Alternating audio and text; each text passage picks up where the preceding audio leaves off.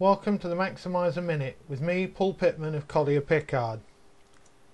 Today I'm going to look at one of the most important data cleaning tasks in a CRM system. In this video we're going to see how to find duplicate entries in a Maximizer address book.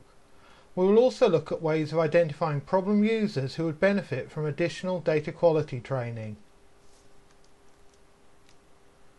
The first thing that I'm going to do is bring up a list of all of the companies and individuals in this address book. To do this I'll search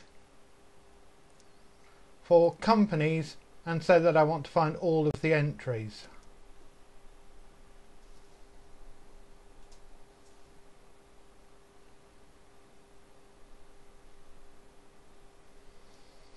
On the search toolbar is an option to check for duplicates. If I click if I click the check duplicates button then as you can see it looks like there are no duplicates in this address book. However what if the company name is not an exact match? Check for duplicate only looks for exact matches. This time I'm going to click on the column marked zip postal before checking on the check duplicate button. Now Maximizer is looking for duplicate postcodes. As you can see there are 11 entries here with matching postcodes.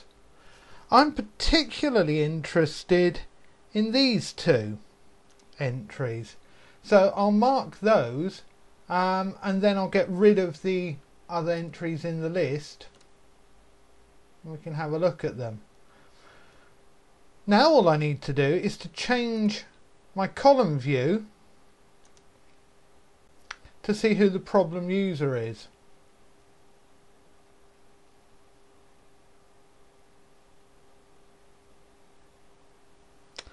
So looking at this it looks as if Joe Napoli is my problem user. So in summary, uh, you should regularly check for duplicates using a range of fields such as postcode or phone 1. Prevention is always going to be better than cure.